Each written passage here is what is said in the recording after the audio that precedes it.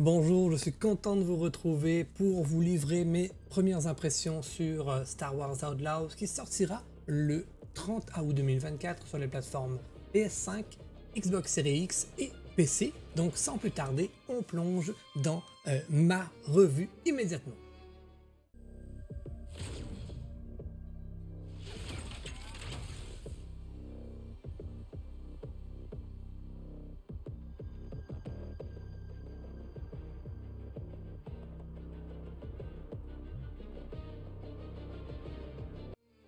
Star Wars Outlaws est un jeu vidéo d'action-aventure développé par Massive Games et édité par Ubisoft ainsi que par Lucasfilm Games.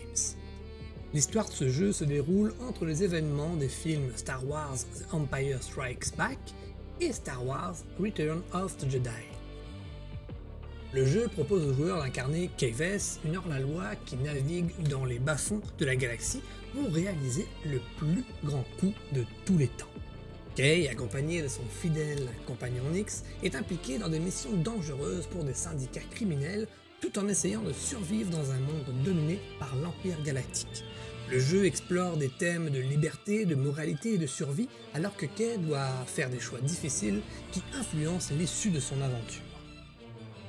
Les joueurs peuvent explorer divers mondes emblématiques de la galaxie, piloter des vaisseaux, participer à des combats et interagir avec une variété de personnages tout en forgeant leur propre chemin dans cet univers complexe. L'histoire met en avant la lutte de Kay pour échapper à l'emprise de l'Empire et de trouver sa place dans une galaxie en guerre. Maintenant, voyons plus en détail différents points clés du jeu et mon avis vis à -vis de ces points clés-là. Alors tout d'abord, au niveau du gameplay, on ne réinvente pas la roue euh, chez euh, Ubisoft avec ce jeu. Euh, on retrouve un bon mélange de plusieurs mécaniques de jeu déjà existantes. On sent un peu une vibes du jeu, des jeux de la série Uncharted, mais je trouve qu'il manque un peu de punch dans ce Star Wars Outlaw. Les séquences de piratage sont sympathiques au début, ensuite un peu redondantes, je dois vous l'avouer. Il n'y a pas d'arbre de compétences, mais un déverrouillage progressif des compétences de l'héroïne au fur et à mesure de l'histoire du jeu. Les phases de combat spatial sont intéressantes et rythmées, mais il manque un peu aussi de profondeur dans ces phases de combat. Les phases de combat à main nue, tant qu'à elles, manquent cruellement de rythme cependant euh, et de sensations, surtout lors des éliminations furtives. La gestion de la réputation avec les syndicats est bien implémentée. Cela donne aux joueurs une sensation d'appartenance mais aussi d'immersion supplémentaire dans l'univers Star Wars. Enfin, au niveau du gameplay, je terminais avec le speeder, le véhicule qui nous permet de euh, se promener sur les différentes planètes. Je trouve qu'il se prend mal en main. Il est un peu trop capricieux à mon goût et lorsqu'on prend un virage avec, ça donne rapidement le tournis. Qu'est-ce qu'il y a au menu?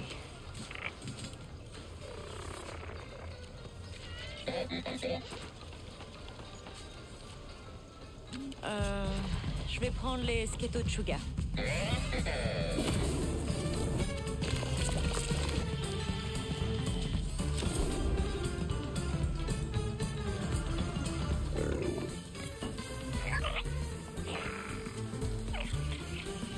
Tout va bien, Lexi.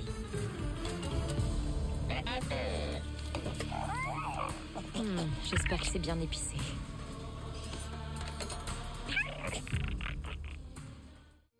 Maintenant, du côté de l'histoire, on se laisse vraiment emporter et facilement emporter dans cette quête principale et les innombrables quêtes secondaires.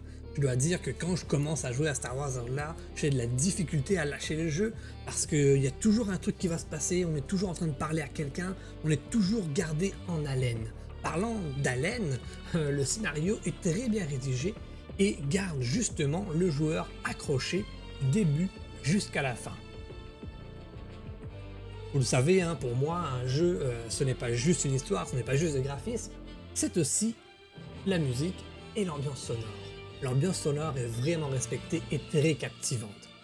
Les musiques sont aussi iconiques que, que celles du film et rend le gameplay davantage immersif. Chaque petite section du jeu, chaque petit endroit sur les planètes euh, a sa propre signature sonore et ça, ça, donne du punch davantage au jeu selon moi. Côté graphisme, on est encore un peu avec des lacunes malheureusement. Euh, pour un jeu next-gen, il manque pas mal de peaufinement, euh, surtout au niveau des rendus à quelques endroits, au niveau de la qualité des rendus justement pour l'eau, pour ce genre de choses-là. Et la force malheureusement, qui n'est pas la force de chez Ubisoft, c'est la qualité de la mocap faciale. C'est vraiment triste en 2024 de ne pas pouvoir avoir un résultat aussi intéressant que euh, du, Detroit Become Human par exemple, euh, où la mocap faciale est incroyable, ou même euh, plus récemment du Ghost of Tsushima. Parlons maintenant un peu du monde ouvert et de l'exploration parce que c'est un gros morceau dans ce jeu. On peut facilement se perdre et euh, on peut facilement trouver notre compte aussi dans ce jeu car euh, c'est très agréable de pouvoir se promener de planète en planète euh, via les sauts et le vaisseau. Les temps de chargement sont bien masqués et quasi inexistants dans le jeu. Chaque planète a son propre cachet et sa propre ambiance, comme je vous l'ai dit un peu plus tôt, au niveau sonore, mais aussi au niveau visuel au niveau de, de chaque monde. Et il y a énormément d'activités sur chaque planète le monde ouvert n'est pas vide. Souvent on entend dire que les mondes ouverts sont vides, il n'y a rien, ça ne bouge pas, c'est pas vivant, il n'y a rien à faire. Mais dans Star Wars Outlaw, le monde ouvert, il est exploité à bon escient.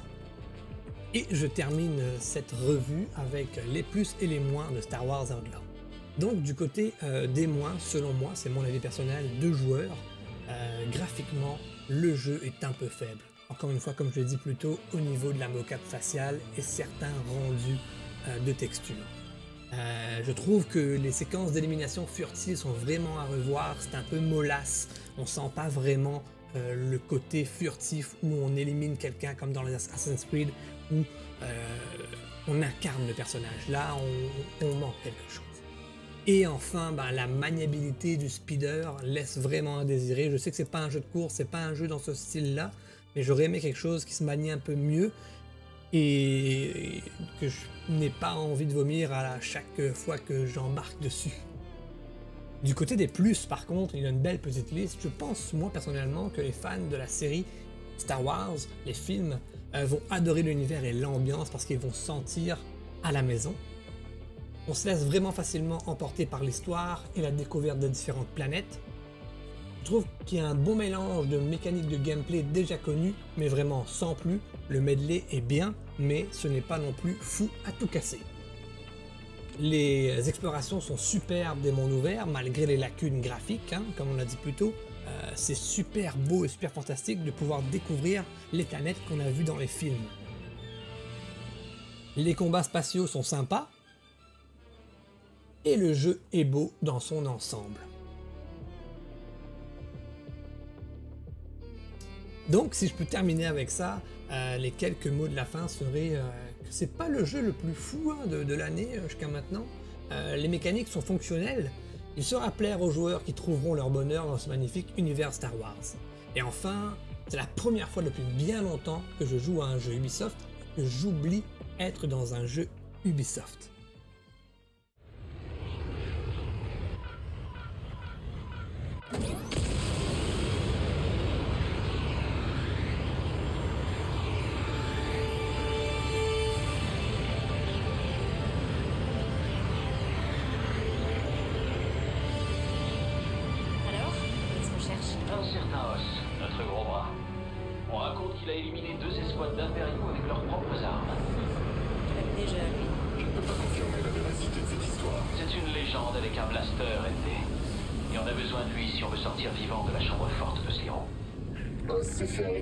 Shérif de seconde zone pour vol de vaporateur.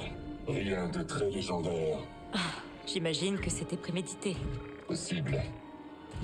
Tu te méfies des contacts de Jalen? Je me méfie de tout le monde. Ah, même de moi? Je comprends.